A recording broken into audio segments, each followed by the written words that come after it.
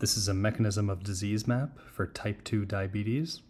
I'll be talking about the etiologies of type 2 diabetes, the pathophysiology, and the manifestations. And in general, these categories will flow from left to right on this flowchart. All of the boxes in this mechanism of disease map are color coded according to these core concepts and the legend up here. so you'll be able to keep them straight in your head according to this legend. First, let's start with the etiologies on the left. There's a long list of risk factors for type 2 diabetes. I'll go through them one by one. Family history is the first one. If you have a first degree relative with type 2 DM, that predisposes you to developing it yourself. Race and ethnicity also play a role. This is a social determinant of health. In the United States, at least, Native Americans and African Americans have higher rates of type 2 diabetes. Physical inactivity or sedentary lifestyle also predisposes to diabetes history of cardiovascular disease, such as if you've had heart attacks or stents or a CABG procedure, also predisposes you to type 2 diabetes. Polycystic ovarian syndrome is associated with type 2 DM, and it's thought that insulin resistance plays a role in the pathophysiology of polycystic ovarian syndrome as well. There are other conditions that are associated with insulin resistance.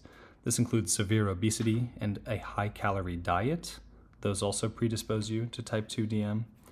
In addition, hypertension, dyslipidemia, or high cholesterol.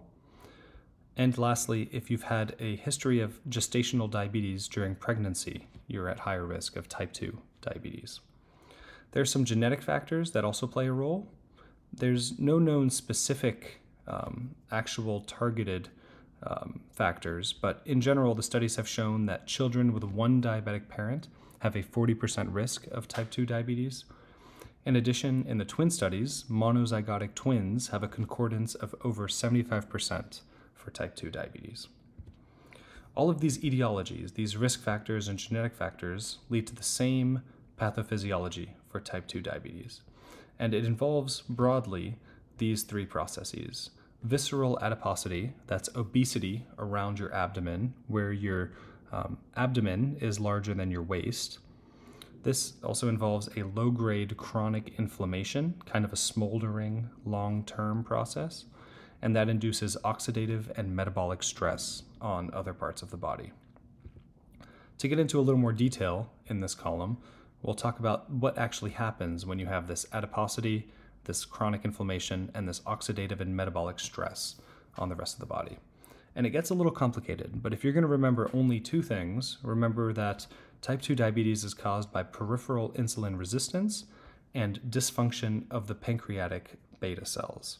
Now, I'll get into more detail, but again, if you can only remember a few things about the pathophysiology peripheral insulin resistance and dysfunction of pancreatic beta cells. So, for peripheral insulin resistance, when you have this central adiposity, you have increased level of free fatty acids in your blood, so increased plasma levels of free fatty acids. This results in impaired insulin dependent glucose uptake in your cells. Your cells include hepatocytes, myocytes, and adipocytes, and they're not able to take in glucose when insulin asks them to. That's peripheral insulin resistance. In addition, you'll have increased serine kinase activity in your fat and skeletal muscle cells. This results in phosphorylation of insulin receptor substrate IRS1 and decreased affinity of IRS1 for the PI3K. This results in decreased expression of GLUT channels, which results in decreased cellular glucose uptake. So, in essence, you'll have a shortage of these channels, GLUT4 channels, GLUT4 channels, and you'll have decreased cellular glucose uptake. These channels are what allow glucose to go into the cells, and you'll have less of them. That also contributes to peripheral insulin resistance. Now, these mechanisms of peripheral insulin resistance also directly link to the dysfunction of pancreatic beta cells. When you have insulin resistance, when you're not responding to insulin, you have low insulin sensitivity, you'll have a higher demand for glucose lowering hormones. Glucose lowering hormones include insulin and also amylin, which is another polypeptide that is secreted with insulin and helps to decrease your glucose in your blood. When you have high production of proinsulin and proamylin, the enzymes that break those down can't keep up. You'll have so much proinsulin and so much proamylin that you can't get rid of them. You can't move them downstream in their um, in their biochemical processes. This leads to an accumulation of proamylin, which then reduces the ability of your body to make more. This results in the dysfunction of pancreatic beta cells, where you have this accumulation of proamylin, which then results in decreased endogenous insulin production. So these two things are kind of linked, but the dysfunction of pancreatic beta cells is a is definitely a downstream effect of these processes as well. You essentially have so much insulin production, so much amylin production that you're unable to make any more later on. There are some genetic factors that are known to directly correlate with the dysfunction of pancreatic beta cells as well. There are other pathophysiologies that are worth knowing. One is in the blood retinal barrier, where you'll have a microangiopathy of the retinal vessels, and this can lead to macular edema. And we'll later talk about how that can affect your vision as well. In any case, these pathophysiologies of type 2 diabetes um, usually don't happen very suddenly. Initially, when these things start happening, you'll have some compensation. Your body will be able to secrete more insulin to make up for um, the problems that are listed here. Over time, your insulin secretion capacity will decrease and you'll no longer be able to secrete insulin as well. Um, that's due to this dysfunction of pancreatic beta cells. When that happens, when you have low insulin and your body can't produce as much insulin as it used to, you'll start doing muscle catabolism and adipose tissue catabolism. Adipose catabolism is lipolysis. You're breaking down your um, fat cells and you'll release glycerol and fatty acids. Muscle catabolism involves protein breakdown and release of amino acids. Both of these will release products like amino acids and glycerol carbons that are used for gluconeogenesis. And when you are when you're when you're using these things for gluconeogenesis, the patient will then experience polyphagia, or they'll be hungry all the time, and weight loss. This makes sense. The patient's going to start to lose weight when you're breaking down their fat tissues and when you're breaking down their muscle tissues. And remember that you're breaking down these tissues because you have low insulin. You're no longer secreting as much insulin as you used to, and you're no longer uh, sensitive to insulin like you used to be.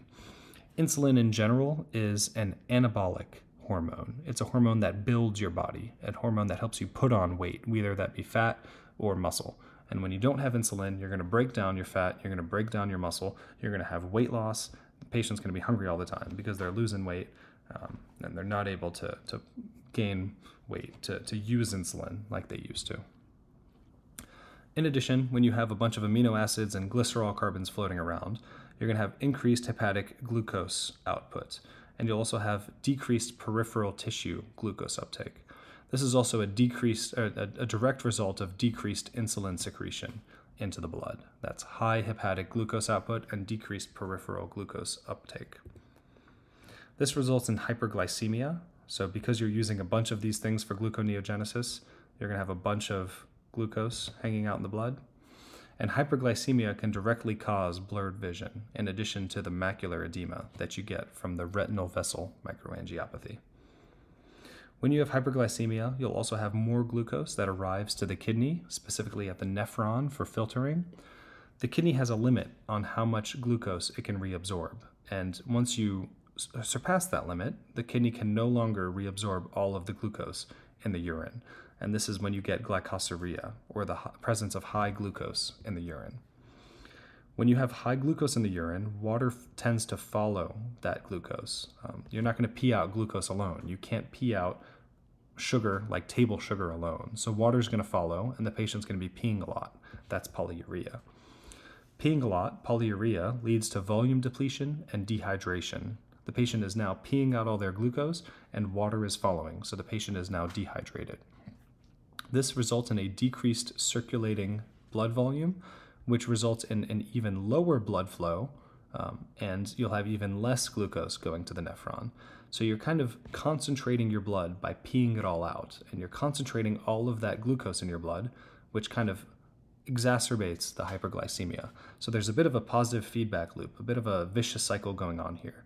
You're peeing out a lot of sugar um, because you have hyperglycemia, but then water follows that sugar, which then concentrates the remaining sugar in your blood and this is a dangerous cycle to be in. The dehydration also contributes to the weight loss. So, when a patient with type 1 or type 2 diabetes comes in, um, oftentimes they're starved for food and they're very dehydrated, so they're low on um, their fat tissues, their muscle tissues, and of course, they're low on water. It's also going to make you very thirsty. So, when you're that volume depleted, you tend to get thirsty. And one mechanism for that is that when you have dehydration, you'll have hyperosmolarity in your blood and your tissues, and that'll stimulate osmoreceptors in the hypothalamus, and that'll lead to a patient drinking a lot, polydipsia. So, this has been a short video on type 2 diabetes.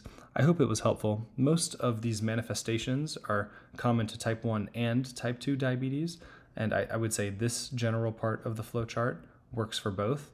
Um, and um, otherwise, the pathophysiology listed here is unique to type 2 diabetes. But remember that the important things to know are peripheral insulin resistance and dysfunction of pancreatic beta cells for type 2 diabetes. I hope this was helpful, and thank you for listening.